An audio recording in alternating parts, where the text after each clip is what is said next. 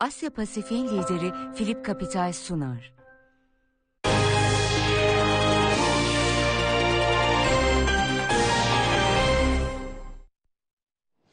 Asya piyasalarına hepiniz hoş geldiniz. Bloomberg HT Pekin temsilcisi Sadi Kaymaz bizlerle birlikte. Sadi birkaç tane önemli konu var. Bir tanesi özellikle Biden yönetiminin atmış olduğu adımlar ve Çinli şirketlere yatırım sınırlamasının genişletildiğini görüyoruz. Bu önemli. Fakat daha da önemlisi özellikle dünyada araç e, pazarının geleceği elektrikli araçlar. Biz şu anda arkadaşlarımız altyazıyla da veriyor onu da aktarmış olalım. Vestel'in TOG'da Türkiye'nin otomobil girişim grubundaki payı sermaye artırımı sonrası %19'dan %23'e yükseldi. Biz de elektrikli otomobil üreten taraftayız. Dolayısıyla genel anlamda bu pazardaki hakimiyet ağırlıklı olarak uzak doğu firmalarına geçmiş durumda. Önümüzdeki dönem bir yandan kısıtlamalar, sınırlamalar, yatırım sınırlamaları öbür taraftan özellikle elektronik pazarında çok ciddi anlamda ön plana çıkmış bir uzak doğu piyasası var. Bu denge, denklem nasıl çözülecek üstüne konuşalım istersen. E, açıl e, konuşalım. Hemen önce müsaadenle kısaca Biden'dan e, bahsedeyim. Sonra asıl önemli e, konuya e, geçeyim. Şimdi e, Trump döneminde biliyorsun Trump özellikle gider ayak Çinli şirketlerin üzerine geldikçe geldi. O ataklarından bir tanesinde de yatırım yasakları getirmişti. Pentagon raporuna binaen yine Pentagon'un oluşturduğu bir kara liste vardı ama orada çok da detayına girmeyeyim ama Xiaomi de vardı örneğin ama Xiaomi gitti Amerikan mahkemelerinde dedi ki benim askeriyle bağla, bağlantım yok ve bu listeden çıktı. Şimdi Biden yönetimi buradaki bir hukuki boşluğu doldurmaya daha doğrusu altyapıyı sağlamlaştırmaya çalışıyor. E, ne diyor askeriyle ilintili olmak veya gözetleme teknolojileri alanıyla ilintili olmak diyor. Dolayısıyla daha böyle esnek bir şekilde artık e, Pentagon değil bir de e, Hazine Bakanlığı yeni Çinli şirketleri oraya e, katabilir diyeyim. E, takip etmekte fayda var ama burada belki söylenmesi en başta söylenmesi gereken şey şu açıl. E, Trump gitti, Biden geldi, e, işler düzelir mi diyenler varsa e, demesinler e, diyorum. İşler muhtemelen iki tarafın arasındaki gerilim jeopolitik boyutta daha da artacak. Şimdi asıl bizi ilgilendiren e, konu gerçekten önemli. Ee, orada da açıl. Şimdi e, şöyle bir şey diyeceğim sana merak edeceksin. Ata alan Üsküdar'ı geçti diyeceğim. E, neden e, diyeceksin sadece çünkü e, çok e, evvel başladı uzak doğuda e, batarya teknolojilerine yatırımlar ve bugün baktığımızda e, sadece üç ülke e, Japonya, e, Güney Kore ve e, Çin'e baktığımızda bu senenin 2021'in ilk 4 ayında toplam batarya tedariğinin e, %85 ila 90'ını yapmışlar. Çok önemli. Ve 3 şirket sayacağım. 3 ülke e, saydım. 3 ülkenin de en büyük şirketleri sadece. Çin'de CATL, e, Kore'de e, LG, e, Japonya'da Panasonic. Bunların toplam payı da ilk 4 ayda %68 olmuş. Yani sadece 3 şirket dünya bataryalarının e, üçte ikisinden fazlasını e, üretiyor diyebilirim. Nitekim de ilk 10 şirkete baktığımızda içlerinde sadece e, Asyalı olmayan daha doğrusu 3 ülkeden olmayan bir şirket var. O da Amerika merkezli. 9'u e, Asya merkezli. Asya'da dediğim gibi burada bir üçgen diyeyim e, Kore, Japonya ve Çin üçgeninde. E, bu tabii e, artık e, teknolojide de patentlerde de e, görülüyor. Özellikle Güney Kore'nin ve Japonya'nın patentler alanında çok ciddi bir öncülüğü var. E, ama dediğim gibi her ne kadar biz Tesla'yı biliyor olsak da e, başka e, büyük şirketler elektrikli araçlar geliştirse de açıp e, bağımlılık var. O bağımlılık da tabii bataryada e, uzak doğuya. Sadi teşekkür ediyoruz sana. Asya piyasalarını noktalıyoruz ve yatırım kulübüne başlıyoruz.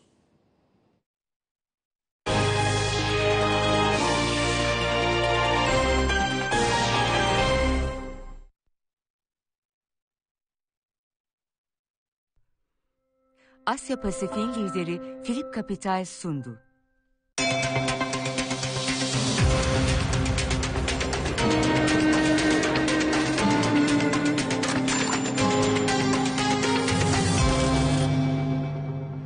Yatırım Kulübü'ne hepiniz hoş geldiniz. Yatırım Kulübü'nde enflasyon rakamları üzerine odaklanacağız. Oldukça iyimser gelen bir enflasyon çerçevesi var. %0.89 geldi. Aylık enflasyon beklenti 1.44. Dolayısıyla bunun oldukça altında bir veriyle karşılaştık. %17.2'lere çıkması beklenen yıllık enflasyonsa %16.59 seviyesinde kalmış görünüyor. Çekirdek enflasyona baktığımızda yine aylık %1'lik rakamlarla B endeksinde %17.5'lara kadar geldiğimiz bir ortam var. Üretici enflasyonu bacağındaysa sıkıntı devam ediyor. Yüzde 3.92 aylık enflasyon üretici bacağında. Bunun yüzde 38.33'lük bir yıllık enflasyona tekabül ettiğini de aktaralım. Garanti BBVA yardımcı baş ekonomisti Seda Güler Mert bizlerle birlikte verileri değerlendirmek için. Seda günaydın diyelim öncelikle sana. Günaydın, merhabalar. Görüşlerini ve sapmanın gerekçelerini alacağım ama öncesinde müsaade edersen bir gedik yatırıma gideyim. Üzeyir Doğan bizleri bekliyor orada. Üzeyir bir taraftan gelen enflasyon verisinden detayları aldık. Senin de bu konuya ilişkin görüşünü bir almak isterim. Bir, özellikle burada %38'lik yurt içi üretici fiyatlarının bir noktadan sonra sanayi marjları üzerinde yaratabileceği potansiyel etkiyi, bunun sanayi endeksi üzerine yaratabileceği potansiyel yansımayı merak ediyorum açıkçası. Evet, günaydın Açıl. Ee, öncelikle enflasyonda evet herkes gibi bizim için de sürpriz olan bir rakam oldu. Ee, ama bu sürpriz aslında e, farklılaşma olabileceği piyasanda beklentisiydi. Çünkü bildiğimiz 17 günlük kapanma süreci e, her ne kadar fiyat toplamada sıkıntı olmasa da e, fiyatların oluşması açısından e, bir belirsizlik oluşturuyordu. Burada özellikle e, lokantalar, yeme içme sektörü, eğlence sektörü gibi birçok alan hatta e, birçok e, farklı iş kollarında e, mağazaların kapalı olması nedeniyle fiyatlarda herhangi bir güncelleme yapılamaması ya da yapılmamış olması zaten talebin kısıtlama nedeniyle düşük olması nedeniyle herhangi bir artışa gidilememiş olması burada aşağı yönlü belirsizlikler oluşturuyordu. Bu belirsizlikler gerçekleşti. O açıdan biraz daha belki Haziran ayı enflasyonunu da beklemek gerekecek. buradaki daha sağlıklı bir fiyat oluşumunu gözlemek adına. E, sen de bahsettiğin gibi üretici enflasyonda ciddi bir artış var. E, %38,33'e ulaştı buradaki rakam. E, bunun e, tüketici enflasyonuna yansımıyor olması e, üreticinin e, belirli alanlarda e, fiyatları arttıramadığında bir işareti. Bu açıdan da e, marjlar üzerinde elbette olumsuz etki yaratacak bir unsur. Bu da sanayi sektörü başta olmak üzere e, genel itibariyle şirketlerin kar marjlarını baskılayabilecek unsurlardan bir tanesi. E, buradaki yüksek rakam aynı zamanda e, gelecek için de tüketici enflasyonu açısından da aslında bir katılığın e, habercisi. Gelecek dönemde ekonomideki toparlanma beklentileri ki zaten ekonomide özellikle yılın ikinci yarısında biraz daha faiz oranlarının etkisiyle belki biraz daha yavaşlama beklentisi de vardı geldiğimiz noktalarda. Bu çerçevede üretici fırsatını bulduğunda kademeli bir şekilde bu artışları e, ürün fiyatlarına yansıtmayı tercih edecektir. Bu da e, tüketici enflasyonunun düşüş hızını belki e, olumsuz etkileyecek unsurlardan e, bir tanesi. Piyasa yansımasına baktığımızda ise aslında sınırlı pozitif bir etki yarattı diyebiliriz. E, ama genel itibariyle başta da ifade ettiğim gibi yani bu 17 günlük kapanma süreci nedeniyle e, bu enflasyondaki e, farklılaşmanın ortaya çıkmış olabileceği algısı kuvvetli. O nedenle pozitif etkisinin de e, sınırlı kaldığını söylemek mümkün. E, biz biraz daha Merkez Bankası'nın politika tarafına e, bakıyor olacağız. Her ne kadar Merkez Bankası'ndan dünkü verilen mesajlar e, erken gevşeme olmayacağı yönünde e, ifade edilmiş olsa da Cumhurbaşkanı'nın açıklamalarını göz önünde bulundurduğumuzda hani piyasada yavaş yavaş bu enflasyon rakamının da belki etkisiyle e, Haziran olmayacaktır ama Temmuz Ağustos acaba faiz indirimi olur mu beklentisi biraz daha e, konuşulmaya başlayacaktır. Bunun da kurlar üzerinde yukarı yönlü baskı yaratma olasılığında çok fazla aktif almamak gerektiği kanaatindeyim. Üzeyir çok teşekkür ediyoruz sana aktardığım bu notlar için ve başlıyoruz Seda Güler Mert'le sohbetimize. Seda öncelikle manşet beklentinin altında kaldı piyasa beklentisini. Sizin beklentiniz nerelerdeydi? Bizim beklentimiz de e, 1.30 seviyesindeydi. Genel beklentinin hafif altındaydık ama genel olarak bizim de beklentimizin altına gerçekleşen bir veri oldu. E, detaylarda baktığımızda az önce ifade edilen gibi e, kapanmanın etkilerini yorumluyoruz. Özellikle giyim ayakkabı grubunun e, TÜFE üzerinde ciddi anlamda aşağı yönde etkisi olduğunu e, gözlemliyoruz. Çünkü mevsimsel olarak aslında yükselişe başlayacak bir e, seviye olması gerekirken e, Mayıs ayı gerçekleşmesinde daha zayıf kaldığını, büyük ihtimalle kapanmalarla beraber fiyat toplanamayan e, alanlarda bu zayıf etkinin e, gerçekleştiğini anlıyoruz. Hal böyle olunca da tabii ki bir e, kayma etkisi olabileceğini düşünüyoruz. Yani bu ayın Mayıs ayının zayıflığının bu özellikle kapanmadan etkilenen sektörlerde yaşanan zayıflığın e, Haziran'daki açılmayla beraber e, tersi yönde bir etki oluşturmasını ve tekrar e, manşet üzerine yukarı yönde itici bir kuvvet oluşturmasını gözlemlemeyi bekliyoruz. O yüzden e, geçici bir e, kayma etkisi olarak yorumlamak mümkün. Peki Seda iki şey soracağım. Bir tanesi tabii kapanma dönemlerinde fiyat toplamak çok zor. Biraz önce sen de bahsettin. Dolayısıyla verinin temizliği açısından ne söyleyebilirsin? Burada bir bozukluk söz konusu olabilir mi? Ee, bunu ilk defa geçen sene tecrübe etmiştik. O zaman e, TÜİK de açıklama yapmıştı. E, fiyat toplanamayan e, zamanlarda bu veri eklenmiyor. Ama sonrasında açılmayla beraber yeni gelen ayarlamalı e, fiyatı takip edebiliyoruz. Yani geriye dönük bir düzeltme oluyor mu diye soracak olursam bunu göremiyoruz, gö- gözlemlemiyoruz. O yüzden e, yeni gelecek fiyatlarla bir düzeltmenin e, bu anlamda fiyatlar üzerindeki etkisini hesaba katmak gerekecektir.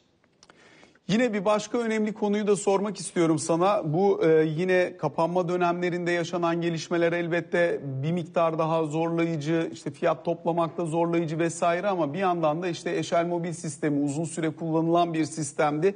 Normalde bunun bir kısmı bu verinin içerisine yansımış olmalı. Dolayısıyla e, bu olmasaydı ne olurdu ama orada da esas etkiyi zannediyorum bir sonraki ayda göreceğiz. Evet, e, az önce de üfe üzerindeki etkilerden de bahsedildi.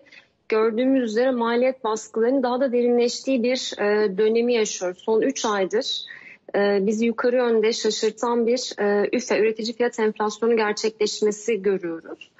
Ve son dönemdeki fiyatlamalara baktığımızda gerek e, enerji fiyatları olsun, gerek kurdaki gelişmeler olsun buradaki etkileri hala yukarı yönde risk olarak tutmaya devam ediyor.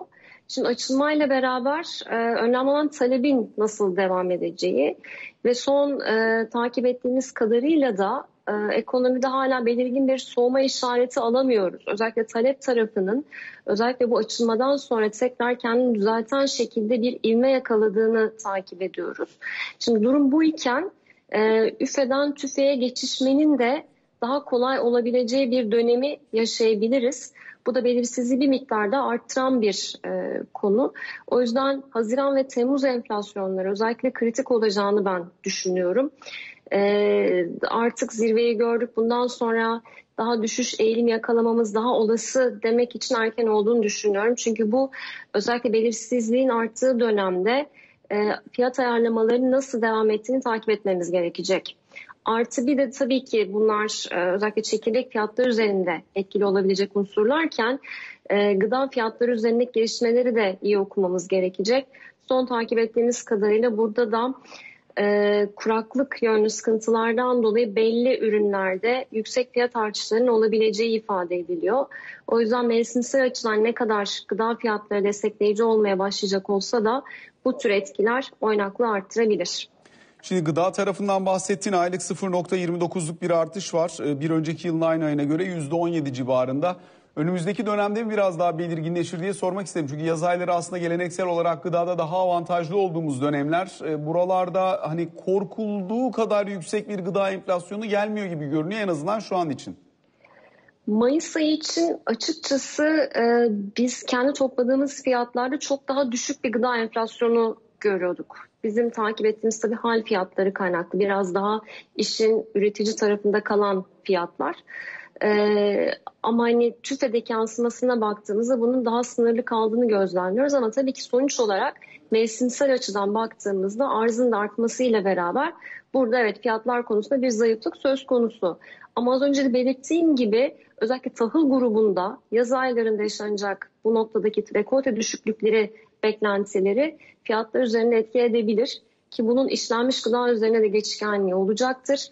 E, gıda tarafı her ne kadar dediğim gibi mevsimsel olarak bir miktar destekleyici olmaya başlıyor gibi görünse de bu tarafta da riskler maalesef hem maliyet açısından hem de kuraklık açısından riskleri beraberinde tutuyor.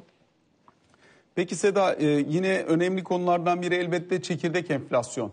E, çekirdeğe baktığımızda B endeksinde de C endeksinde de kabaca %1 civarında hareket var. Biri 17'de biri 17,5'ta. Dolayısıyla kur etkilerini belli ölçüde hissetmeye devam ettiğimizi söyleyebiliriz zannediyorum burada. E, bu tablonun nereye evrilmesi beklenebilir? Çekirdek enflasyon tarafı hala tehditkar kalmaya devam ediyor çünkü. Evet, e, özellikle işte bu kapanma etkisinin hani e, kaymasını vesaire e, düşündüğümüzde çekirdek enflasyonun yükselişin devam etmesini bekliyoruz. E, talebin de bu noktadaki dediğim gibi etkilerini düşündüğümüzde Haziran ve Temmuz ayları hala çekirdek enflasyon için yükseliş e, trendinin devam ettirmesini beklediğimiz bir dönem. E, bu da tabii ki alt gruplar üzerinde bir miktar değişkenlik gösteriyor. Çünkü kurdan etkilenen kalemler daha farklı. Bununla beraber e, hizmet enflasyonunu kendi içinde ayrıca düşünmemiz gerekiyor. E, biz son e, hesaplamalarımızda kur geçişkenliğini %22'ye yakın hesaplıyoruz. E, ve son kurdaki hareketlenmeye baktığımızda beklentimizin biraz daha üstüne çıkacak şekilde bir değer kaybı e, gözlemliyoruz. Biz açıkçası kademeye değer kaybının devam edeceği ve yıl sonu 9.25'lik bir dolar TL kuruyla e, kalacağımız bir varsayımla enflasyon tahmini çalışmıştık ve bu e, çerçevede de enflasyonun Kasım'a kadar %17'ye yakın bir seviyede kalıp yılın son iki ayındaki destekleyici baz etkileri %15'e inmesini beklemiştik.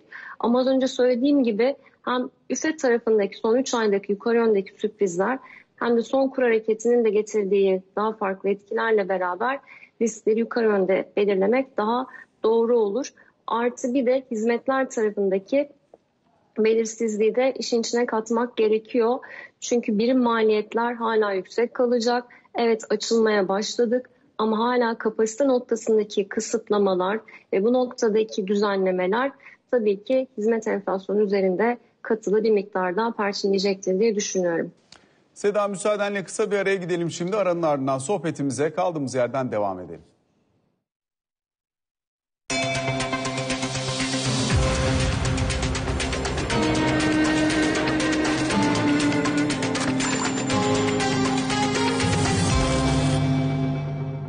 Yatırım Kulübü'nün ikinci bölümüyle karşınızdayız. Garanti BBVA yardımcı baş ekonomisti Seda Güler Mert'le sohbetimize kaldığımız yerden devam ediyoruz. Enflasyon rakamlarını yorumluyorduk. Manşet veri bir miktar beklentilerin altında ancak üretici enflasyon tarafı kuvvetli kalmaya devam ediyor. Seda bunu sorarak başlayayım sana. Aylık %4'e yakın bir üretici enflasyonu yıllığı %38'in üzerine geldi. Buradaki geçişkenlik enflasyonun onun altında olduğu dönemlerde nispeten daha yavaştı. Şimdi fiyatlama davranışlarının biraz daha bozulmasıyla birlikte bu geçişkenliği daha fazla hissetme riski var mı ne dersin? Evet böyle olmasını bekliyoruz. Çünkü evet bu konuda iki farklı gelişme var. Birincisi dediğim gibi talebin nasıl devam edeceği bu noktada önemli bir e, detay olacak. E, açıkçası ilk çeyrek büyümesi beklentiler üzerinde gerçekleşti ve e, baktığımızda iç talepte hala belirgin bir yavaşlama gelmediğini takip ettik. Bununla beraber Nisan-Mayıs gerçekleşmelerine baktığımızda hem kendi göstergelerimiz olsun hem diğer yüksek frekanslı göstergeler olsun hala belirgin bir e, soğuma sinyali alamıyoruz. Ve tekrar açılmayla beraber de e, Nisan'ın ikinci yarısı, işte Mayıs'ın ilk yarısı gibi o dönemdeki daha belirgin soğumaya kıyasla bir düzeltme getirebilecek potansiyel e, gösteriyor. Hal böyle olunca da e, talebin devam edeceği artık açılmayla beraber bunun sektörlere daha yayılarak gerçekleşmesi muhtemel olduğu bir senaryoda üfeden tüfeğe geçişkenliği de daha rahat konuşabilme imkanımız e, oluyor. Artı diğer ikinci konu ise son dönemde özellikle 2020'de de geçtiğimiz sene de bunu tecrübe etmeye başlamıştık. Ee, şirketler tarafında fiyat ayarlamaları yapıldığı noktada bu maliyet unsurlarının e, daha kolaylıkla e, kar marjlarını iyileştirecek şekilde e, oluşturulabildiğini takip etmiştik. O yüzden iki unsuru da birlikte değerlendirdiğimizde dediğin gibi geçişkenliğin e, önceki döneme kıyasla bir miktar daha kolaylaştığı bir dönemi yaşamamız olası. Artı bir de e, pandemi kaynaklı yine farklı sebepler de olabilir. Beklemiş talebin bu noktadaki etkisi, artı tasarrufların belki bu noktada harcama potansiyelinin hala yüksek tutuyor olmasının getirdiği etkiler bu noktada dediğimiz gibi fiyatlar üzerinde belirleyici olabilir. Peki Diğer önemli kısımsa kur etkisini ne kadar hissedeceğimiz. Kur şu an itibariyle 8.61-8.62'lere geldi. Sepet kur 9.57'lere kadar tırmandı. Dolayısıyla aylık olarak düzenli %1, %1,5, %2'lere varan oranlarda e, kur artışı gelmeye devam ediyor. Dolayısıyla bu orta uzun vadede enflasyon dinamiğini nasıl değiştirebilir? Çok e, güzel ve temel bir soru. Yani bunu e, önümüze alıp merkezimizde değerlendirmemiz gereken bir konu ki enflasyon tarafında kazanımlarımızı konuşabilmeye başlayabilelim. E, çünkü geldiğimiz noktada enflasyonda gerileme trendini oluşturması e, beklenen en temel konu kurda oluşmasını arzu ettiğimiz dengelenme. Eğer biz buradaki kur etkilerini bertaraf edemezsek zaten enflasyonu da aşağı çekebilme imkanımızı sınırlamaya başlıyoruz. Çünkü belli kalemlerde, hizmet grubu gibi belli kalemlerde zaten geçmiş fiyatlamalardan gelen bir katılık, atalet etkisini burada ifade ediyoruz. Hal böyle olunca ki az önce de pandemi etkilerinden vesaire konuştuk. Bu taraf zaten katılığını devam ettirecek. Hatta belki üzerine koymaya devam edecek. Ama bununla beraber bizim enflasyonla mücadele konusunda eğer daha hızlı kazanım elde etmeyi istediğimizi ön planımıza koyacaksak o halde kur tarafındaki etkileri bertaraf etmek gerekecek. Ama son dönemde tekrar e, değer kaybı baskısının e, hızlanması e, buradan elde edeceğimiz kazanımları da maalesef e, geriletmeye başladı. E, ve eğer biz dengelenmeyi geciktirirsek ve bu noktada hala değer kaybı üzerinde e, baskı hissetmeye devam edersek dediğim gibi düşüşün de daha az olduğu bir e, dönemi konuşmamız gerekecektir. Bizim yıl sonu 15 tahminimiz de bu anlamda daha yukarı yönde güncellenmeye gerektirecektir denebilir. Şimdi aslında normal şartlar altında Nisan ayının zirve olması yönünde bir genel beklenti vardı enflasyonda. Ancak piyasa bu ayda bunun ekstra katkısıyla belki Mayıs'ta zirve olur mu diye bakıyordu. Şu an için Mayıs enflasyonu iyi gelince zirve Nisan'da kaldı. Tekrar Nisan ayındaki seviyeyi görme olasılığını nasıl görürsün şu an? Olasılık da aynı görüyorum. Hatta yukarısı bile olabilir. Yani Temmuz da mesela kritik olan aylardan birisi olacak. Yine şimdi Haziran'ı konuşuyoruz. Ama e, kademeli açılmanın devam ettiğini hep akıllarımızın bir kenarına tutmamız gerekiyor.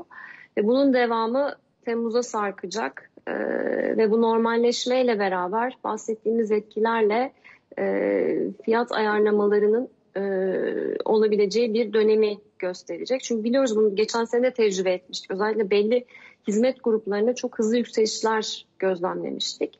Bunda tabii ki makul görüyoruz. Ee, sonuç olarak hem bekleyen e, bir dönem bunun maliyetlerin telafi edilmek istenmesi gibi unsurlar artan diğer düzenleme gereklilikleriyle beraber tabii ki burada fiyat güncellemelerini olası kılıyor.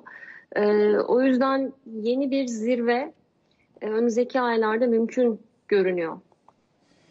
Diğer taraftan o zirvenin bizi yıl sonunda nereye kadar taşıyabileceğini de sormak isterim. Çünkü burada farklı beklentiler var. İşte Merkez Bankası 12 civarında, medyan piyasa beklentisi 14,5'larda ama bir kısımda kurdaki gidişattan endişeli olduğu için daha yukarılarda 17-18'lere yaklaşan bir enflasyon beklentisi içerisinde. Siz hangi taraftasınız? Biz eğer e, mevcuttaki kademeli değer kaybının süreceği ve e, 9'cular 9.25 gibi bir dolar TL kuruyla yılı bitirdiğimiz e, tahminde e, kendi tahminlerimizde 17-17,5 arasında kalan bir manşet Kasım ayı enflasyonuna kadar. Sonrasında iki ayın enflasyon, son iki ayın enflasyonuyla beraber de 15'e gerileyen bir patika olarak paylaşıyoruz. Bu noktada dediğim gibi tepe belki Haziran belki Temmuz 17.5'a yakın bir yerde gerçekleşebilir. Ama her şekilde kurda daha hızlı bir değer kaybı görmemiz noktasında. Çünkü biraz sonra büyük ihtimal para politikasını konuşmaya başlayacağız ve diğer e, bu noktada etkileyebilecek politika araçlarını konuşmaya başlayacağız. E, eğer biraz daha genişleme tarafında kalıp e, farklı e, risk unsurlarını önümüze getirdiğimiz çerçevede kurdaki gelişmeler tabii ki enflasyon üzerinde belirleyici olmaya devam edecek. Ee, özellikle dediğim gibi eğer belli bir kazanım elde etmek istiyorsak kurda öncelikle dengelenmeyi hedeflememiz gerekiyor ki bu noktadaki e, yukarı ön etkileri biraz sınırlayabilelim. Şimdi bir yandan da dönüp baktığımız zaman mesela çeşitli e, farklı kalemler var. Mesela ulaştırma bunlardan bir tanesi. Petrol fiyatlarındaki yukarı yönlü hareketin etkisini doğrudan hissettiğimiz, doğrudan gördüğümüz bir yer. Son bir yıl içerisinde %28.39 baktığımız zaman burada oluşmuş olan enflasyon. Buralar ne kadar tehdit edici? Elbette sepet içerisindeki yeri nispeten sınırlı vesaire ama hakikaten fiyatlar genel düzeyi çok ciddi anlamda yukarı kaydığı için bunun yarattığı potansiyel etkileri doğrudan gözlemleyebildiğimiz bir yer. Evet yani bu tür bahsettiğin kalemler zaten temel girdi olduğu için belli başlı sektörleri genele yayılarak etki oluşturuyor. Ve bu noktada enflasyonla mücadeleyi de zorlaştırıyor. Sonuçta tabii ki hala biz bir maliyet enflasyonundan bahsediyoruz. Ama e, maliyetin de bir unsuru tabii ki hani emtia fiyatları vesaire ama kurdaki gelişmeler. E, yönetebileceğimiz bir alan hala var. E, o yüzden resmi biraz bütün görerek e, hedeflemek daha doğru olur diye düşünüyorum. Diğer yandan yine özellikle üretici enflasyonunun alt kalemlerine baktığımız zaman da burada çok belirleyici olan faktörler ve unsurlar var. Mesela aylık bazda baktığımızda işte ana metallerde %9'a yakın artış görmeye devam ediyoruz. Buralarda dönemsel talebin yaratmış olduğu baskıyı da izliyoruz, takip ediyoruz. Buralar imalat tarafı kuvvetli gittiği için bir yerden sonra soru işareti yaratır mı bu birinci soru. İki, Talep yoğun bu fiyatlardaki geçişkenliği artırıyor ama özellikle ham madde bulunurluğu tarafında da soru işaretleri var. Terminler de çok uzamış durumda hemen hemen bütün kalemlerde. Bunların yaratabileceği potansiyel etkileri nasıl görürsün? Burada dediğim gibi iki tane etki var. Birincisi artan talebin oluşturduğu yukarı iten bir emtia talebi. İkincisi de tedarik sıkıntıları. Yani arzın şu an talebe yetişememesinin getirdiği dünyada zaten genel bir sıkıntı. Şimdi dünyada da açılmalarla beraber e, artık bu noktada e, normalleşmenin e, devam etmesiyle tedarik noktasında yaşanan sıkıntıların da giderek sona ermesini gözlemliyoruz ama tabii ki bu hemen olmayacak. Biraz daha yılın sonlarına doğru kayacak ve bu noktada emtia fiyatları üzerindeki etkisini hissettirmeye devam edecek. Ee, tabii bizdeki konu e, tüm bunların yanında bir de dolar TL ya da sepet kurdaki gelişmeler ve bunun yansımaları. Şimdi birleştirdiğimiz noktada e, evet yani emtia fiyatlarının en azından normalleşmeye başlaması bir miktar en azından yılın sonlarına doğru gerilemeye başlamasını biz de bekliyoruz. E, bunun olduğu noktada bizde de yansımaları tabii ki etkiyi hafifletecek şekilde olacak. Ama bizim o noktada işte kurda da dengelenme sağlayabildiğimiz çerçevede bundan daha fazla faydalanabileceğimiz bir durum oluşabilir. Ee, ama dediğin doğru belli sektörlerde özellikle arz sıkıntısının yaşandığı belli sektörlerde daha belirgin maliyet baskıları alıyoruz. Ee, bunun da sanayi tarafında yansımaları olduğunu gözlemliyoruz. Ama bu yine bu dönemin e, farklı bir özelliği ihracat e, potansiyelimizi arttırdığımız e, dışarıda özellikle Avrupa'da talebin sanayi tarafında özellikle devam ediyor olmasının getirdiği destekler, ihracat tarafında e, kendimizi ilerletiyor olmamızın getirdiği etkilerle bir miktar en azından fiyatlar konusunda, yurt içi fiyatlar konusunda daha dengeleyici olabileceğimiz bir durumda oluşuyor. Ama özetle e, konuştuğumuz bu etkiler hemen yarın geçmeyecek. Daha zaman ayılarak e, düzeltme bekliyoruz. O yüzden de bizde de maliyet unsurlarını e, özellikle yaz aylarında yukarı yönde tutacak diye düşünüyoruz. En önemli soruyu sona sakladım. Merkez Bankası'ndan ne beklersin? Bir indirim beklentin evet. var mı? Hangi noktada var? Son iki dakikada onu özetlemeniz rica edeceğim. Evet beklediğim e, konu bu. E, bu evet yani gündemimizin önemli konularından birisi. E, açıkçası bu son gelen Mayıs enflasyonu e, reel faiz anlamında bir miktar rahatlama getirdi. En azından e, akranlarla kıyasladığımızdaki hani fark açısından bu noktada bir rahatlama getirdi. Ama az önce de ifade ettik bu geçici olabilir ve e, önümüzdeki iki ay belki üç ay daha yukarıda bir enflasyonla karşı karşıya kalabiliriz dedik. Yani reel faiz noktası her ne kadar hala akranlarımıza göre e, daha ikna edici kalsak da bu noktada risklerin oluştuğunu söylemek gerekiyor. E, bununla beraber e, son gelişmelerle birlikte özellikle güven e, kanalının çalışması ve risk primine yansıması noktasındaki e, oluşan tahribat tabii ki fiyatlamalar üzerinde etki ediyor ve kurdaki gelişmeleri ve diğer fiyatlamaları takip ediyoruz.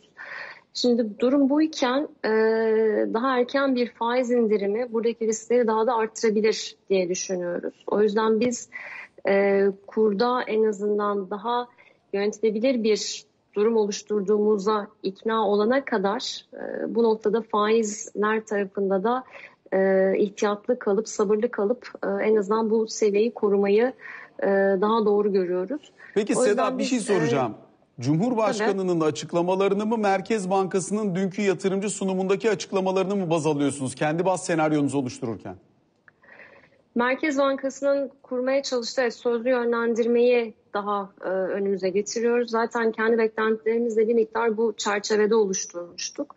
Bizim e, tahminlerimizde ilk faiz indirimi Eylül itibariyle gerçekleşiyor ve oldukça kademeli enflasyon gelişmelerini takip eden bu noktada hala pozitif reel faiz verecek şekilde hareket eden bir çerçevede bunu e, sunuyoruz.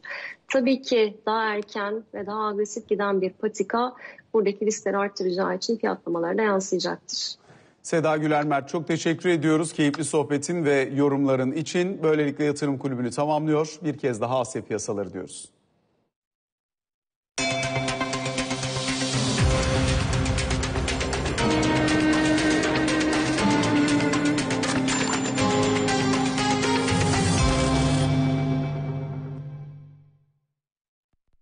Asya Pasifik'in lideri Philip Capital sunar.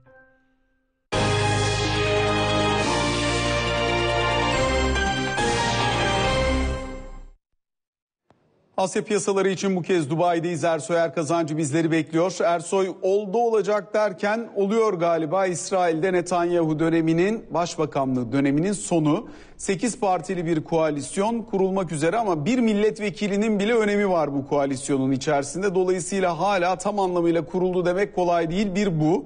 İkincisi özellikle petrol fiyatlarında sabah saatlerinde 72 dolara kadar yaklaştık. Buradan sonrasına ilişkin bakış nasıl? Evet Açıl, İsrail'de Netanyahu dönemi sona eriyor mu? Çok az kaldı senin de söylediğin gibi. Dün gece 12'ye 1 saat kala 8 tane parti anlaştı. Hiç beklenmeyen bir şey aslında. Farklı görüşlerden pek çok parti var. Ve e, ama güven oylaması gerekiyor. Daha İsrail politikasında çok hızlı değişiklikler olabiliyor. O yüzden bu dönem Netanyahu dönemi sona erdi demek için erken ama giderek o yönde gidiyor. E, peki kim olacak? E, yeni başbakan aslında dönüşümlü şekilde olacaklar ama Naftali Bennett e, 49 yaşında onun başa gelmesi bekleniyor. Tabi Netanyahu dönemi e, biraz Netanyahu şahin duruşlu pek çok e, davadan aslında geçiyor. Kendisiyle ilgili suçlamalar var ama İsrail politikasında ve Orta Doğu'da çok bilinen bir isim. E, bakalım bu değişiklik olacak mı ve olunca da e, Orta Doğu açısından nasıl bir gelişme olacak hep beraber göreceğiz. Ama en azından Dubai'de yaşayan biri olarak şunu söyleyebilirim. Abraham akkortları, anlaşmaları imzalandıktan sonra burada e, pek çok İsrailli yatırımcıyı, iş adamını görüyoruz. Hani Orta Doğu açısından önemli bir gelişme. E, petrol tarafında ise sabahleyin 72 dolarlara yaklaşmıştık. Biraz geri geldi açıl ama yine de son 2,5 senenin en yükseğinde. E, niye haftalık stoklarda düşüş vardı Amerika'da bu etkili oldu. Bir de İran anlaşması biraz daha süre var gibi gözüküyor. Viyana'da yine ertelendi bir tur daha olacak.